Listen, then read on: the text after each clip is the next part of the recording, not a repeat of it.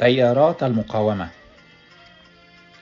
لا شك أن الذي يسلك ضد تيار العالم يجد مقاومة عنيفة من العالم ومن رئيسه الشيطان ويجد كثيرين يثبطون همته وعزيمته لكي يمنعوه وهذا ما حدث مع الدكتور يوسف إذ وجد مقاومة عنيفة من العالم. ومن الأهل والأصدقاء وحتى من الروحيين أنفسهم.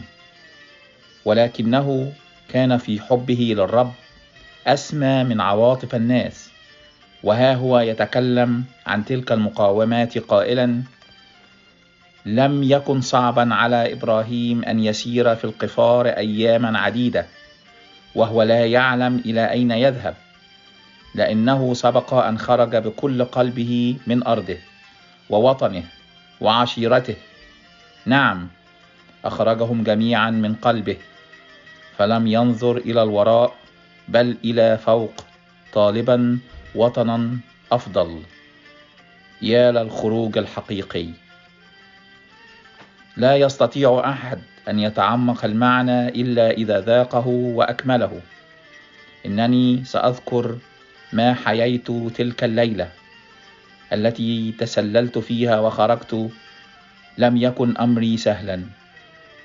فقد كلفني ذلك أن أخسر كل شيء وأحسب كل شيء نفاية وأبغض كل شيء حتى نفسي. ووليت ظهري للعالم العالم الذي كنت أحبه الذي هو في.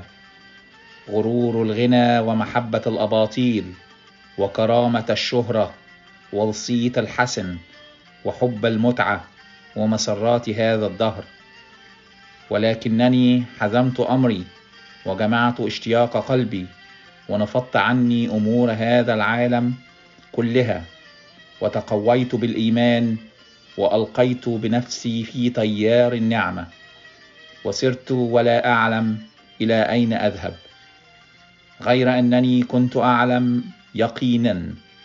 أن محبة هذا العالم هي عداوة لله ووثقت بالذي وعد سابقا أنه يعطي حياة للذين يتركون أشياء هذا الدهر.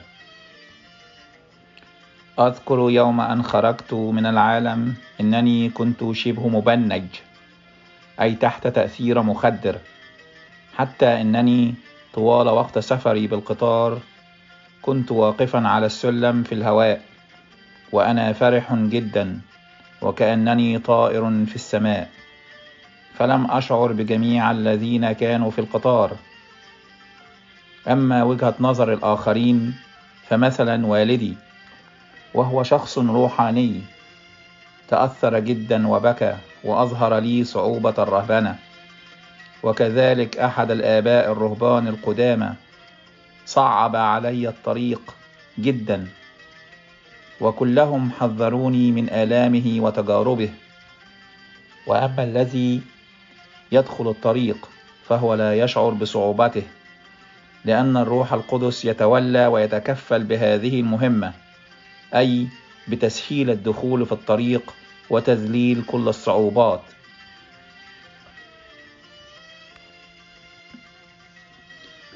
كما أنه قال عن المعوقات التي صادفته أثناء خروجه لقد أردت المسيح وأحببته فارتبط الناس بي ولكنني كنت أريد أن أنفك وأخلص من الناس فرأيت أن الناس قد ازداد تعلقهم بي. لماذا؟ لأنني أريد المسيح وأسلك بأمانة وبفقر أي بتجرد. فازداد الناس وتجمعوا حولي ولما أردت أن أخلص ربطت بمائه طوق فجلست أبكي قائلا للرب لا فائدة لا بد أن أخرج بسرعة. فأعلنت عن ذلك وخرجت. ويقول في موضع آخر عن انتصاره على تلك المعوقات البشرية يوم أن خرجت يا أحبائي من العالم خرجت وأنا إنسان لي مشاعر كبقية الناس. فقد كنت رجلا اجتماعيا محبوبا ومحب لإناث كثيرين. وهم تعلقوا بي جدا جدا مدينة بأكملها. فقد كنت صديقا لكثيرين. وكنت أتبادل معهم الهدايا وعبارات الود والمحبة. وكنت إنسانا محبا للطبيعة وللعالم الطبيعي. فقد كنت أحب التنزه ولبس الثياب والبحر والموسيقى والتصوير. وكنت أحب الرسم بالزيت جدا جدا فكانت عندي ألبومات للرسومات بيدي. كل هذا تركته واعتبرته فعلا كما قال بولس الرسول نفاية. فرميته. وفي يوم خروجي أسرع ورائي الذي كان يستلم مني الصيدلية قائلا الشقة والأشياء التي تخصك ماذا تفعل فيها؟ لقد حسبت الكل نفاية من أجل المسيح. وبهذه المناسبة كان في ذلك الوقت لي صديق اسمه سعد عزيز. هو أنبا صموئيل أسقف الخدمات فيما بعد. فقد قلت له ما رأيك؟ أنا نفسي أترهبن. فقال لي تعال نذهب إلى واحد راهب مطران طيب جدا وقديس وهو الذي يدلنا. وهو أنبا كيرلس آخر مطران قبطي في الحبشة. وكانوا قد طردوه من الحبشة وكان ساكنا في المدرسة الإكليريكية في مهمشة. ولما ذهبنا كان المطران راقدا مريضا متوجها بجسمه ناحية الحائط وظهره نحونا. فعرضنا عليه فكرة الرهبنة فصعبها علينا. فقلت له شوف يا سيدنا في الواقع أنا أعطيت مهلة لربنا ستة أشهر. فإن لم يفكني بالذوق هطلع بالعافية. وأنا كنت قلت للرب ذلك بالفعل. إن لم تطلعني بالذوق وتخلصني من مشاكلي وارتباطاتي فسأترك الدنيا واطلع وإن شاء الله يجرى اللي يجرى. وطبعا كان في ذلك خطورة شديدة. لأنه كانت عندي مهمات ومسؤوليات ولازم تسليمها لوزارة الصحة بحضور مندوب منها وإمضاءات وإخلاء مسؤولية. فقلت لا يهم أنا طالع طالع. أنا عايزك أنت يا رب سأكسر قيودي بأيدي وأطلع واللي يعملوه يعملوه. ولما قلت ذلك للمطران قال لي انت بتقول إيه؟ واعتدل في طريقة رقاده واتجه بجسمه ونظره نحونا وهذا ما كنت أريده. ثم قال لي انت عجينتك إيه؟ فقلت له عجينتي إني عايز ربنا وهطلع له وإن سهل لي السكة سهلها وإلا فسأطلع ويجرى اللي يجرى فقال لي قل أستغفر الله. فلم أقل. ثم قال أيضا قل أستغفر الله. فقلت أستغفر الله. فقال لي أيوة كده يا ابني. أنت عندك إيمان وربنا هيطلعك. ولما سمعت شهادته تلك دخلت في عافية الإيمان. فهي شهادة من أسقف. لأني كنت أذهب إلى الكنيسة في صمت وأتناول وأعود إلى بيتي ولا أحد يعرف عني شيئا. عدا في الأيام الأخيرة قبل الخروج من العالم فقد ابتدأت أن تصير لي خدمة بسبب وجودي كمسؤول في المدينة. نهاية الأمر خرجت من العالم رغم تلك الصعوبات. أما عن مقاومة الأصدقاء ورفقاء الخدمة فهو يقول قابلت أصدقائي وقلت لهم إني خارج فقالوا لي يا مجنون أنت اتجننت؟ وقد عقدوا علي مجمعا من أربعين واحد في جمعية الأصدقاء بالجيزة وقالوا أنت مجنون ولكني لم آخذ بهذا الكلام فأنا مولع من الداخل. وظللت أصلي إلى الله.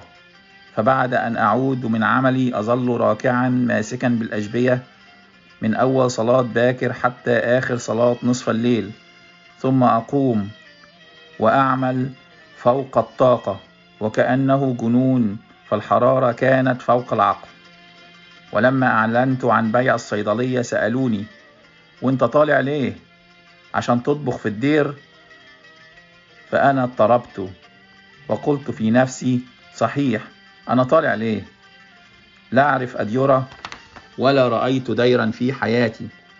الله يشهد ولا رأيت رهبانا إلا راهبا واحد في البلد ولم يكن مسلكه قويما. وقال لي اوعى تخرج. وظل يترجاني ليلا ونهارا في ذلك لأنني كلما كان يدخل عندي كنت أعطيه جنيها. سألت نفسي أنت ستطلع تعمل إيه؟ فصرت حيرانا وكان الخدام يسخرون من الرهبان الذين لا عمل لهم في الدير إلا الطبيخ. ولما سألوني عما سأطبخه في الدير قلت لهم إنني لا أذهب لكي أطبخ أنا طالع للمسيح. فقالوا هل المسيح في الدير؟ المسيح في الخدمة. إننا ننصحك وخليك عاقل. فكر ولو لمدة سنتين أو ثلاثة وبعدين اطلع. ارتبكت قائلا في نفسي هذا أمر مستحيل. وظللت في ضيق متواصل وقلت لهم انظروا إنني لا أعرف شيئا ولكنكم تتكلمون عن أنبا أنطونيوس وأنبا بخوميوس وبقية القديسين. فهل كان هؤلاء غلطانين؟ هذه الكلمات هي التي وضعها الرب في فمي فقط فسكتوا في الحال ولم يقدروا أن ينطقوا بكلمة. ثم قلت لهم أليست الكنيسة قائمة على هؤلاء القديسين؟ فإن كانوا غلطانين يبقى أنا غلطان. إن كان ربنا توههم فهو يتوهني.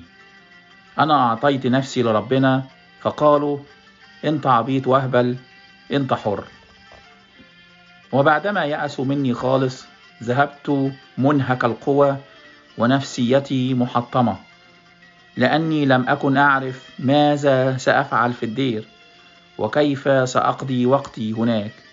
خصوصا إني أنا الذي طلبت ديرا مهجورا لا يكون فيه كهنة ولا أوقاف يتخانقون عليها لأنه في تلك الأيام كان الصراع على الأوقاف. فقلت إنني أريد ديرا أعيش فيه متجردا من كل شيء.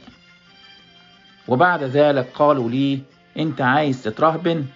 تعال نعملك قسيس في البلد. فقلت لهم لا.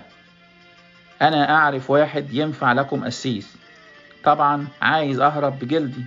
فقالوا لن نتركك. فقلت لهم إن ما كانش أحسن مني مئة مرة يبقى لكم كلام. وذهبت إلى رئيسا في مدارس الأحد الأستاذ ظريف عبد الله الذي صار أبونا بولس بولس كاهن دمنهور. وقلت له هم يريدونك أن تكون قسيسا؟ فقال لي ما تعمل أنت يا أخويا؟ فقلت له أنا لا أنفع. وأنا قلت لك سأصير راهبا. فهرب. وبعدين أنا والزيت وحرضت عليه البلد. فذهبوا إليه. وكبسوا عليه وعملوه قسيس فقلت خلاص أنا انفكيت.